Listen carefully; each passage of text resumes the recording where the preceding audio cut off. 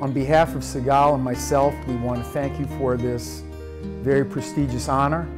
Uh, we feel very strongly about the movement and it is very important to us. About two years ago, Sigal and I got engaged in Jerusalem. I surprised her. It was a, supposed to be a birthday celebration with her family there. And I had her family at a restaurant right by the Kotel. And I got on my knee and I proposed to her in front of her whole family. And she was so shocked, she didn't say yes. So her mother was screaming, say yes, say yes, say yes. So Jerusalem is, is very, very important to us. Um, it's the place where we got engaged. It's the place where we are spending our honeymoon. And um, it's a very spiritual and important place. One of the things that brought Bruce and I together is our love for Israel, our love for Jerusalem.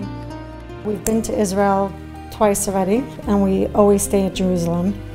So, at the same time, about two years ago, we met this crazy guy, Dr. Joe Frager, who is a lovely man and has become a dear friend of ours, who was telling me, I must take you to Jerusalem to see this project where we are purchasing homes owned by Arabs, and we are reclaiming them and reselling them to Jewish families.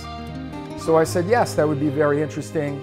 And we went to the home of a Jewish family.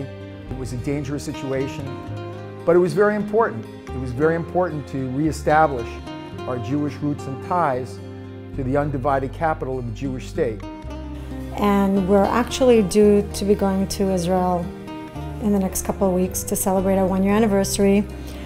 My family is from Yemen. I'm a Yemenite Jew.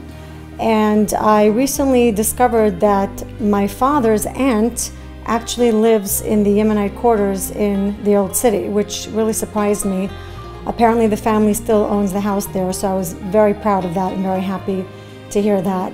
We're just about to go into Kfar Timanim for families and children who have just come out from there, and we're taking a, a vehicle ride into the Yemenite village to see the Beit Knesset, jumping the Jewish life and with the Jewish president there. We strongly believe that you know Jerusalem should be reclaimed by the Jews and resettled by the Jews, especially old the old city of Jerusalem.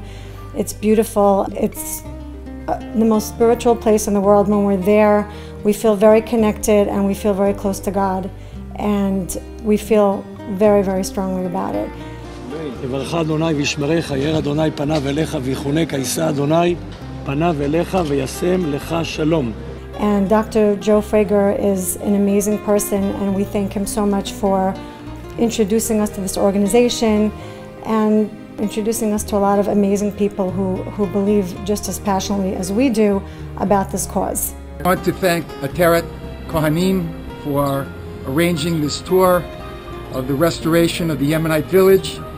I married a Yemenite.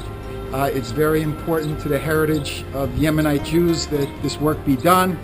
And we congratulate the brave families who live here and the security personnel that guard them. It's important work and we applaud their courage and their tenacity, and we feel like we are with them.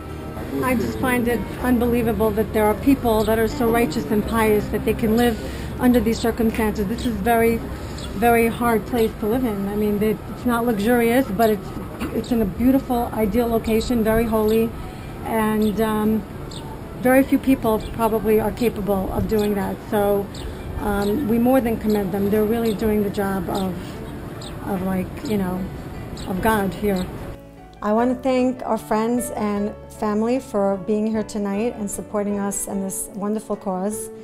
And I want to have a shout out to our family and friends in Israel who live there. We miss you. We wish we were there. Uh, we love you. אנחנו אוהבים אתכם. עם ישראל חי. לשנה הבאה בירושלים, בירושלים הבנויה. לשנה הבאה בירושלים, Deus Shaddai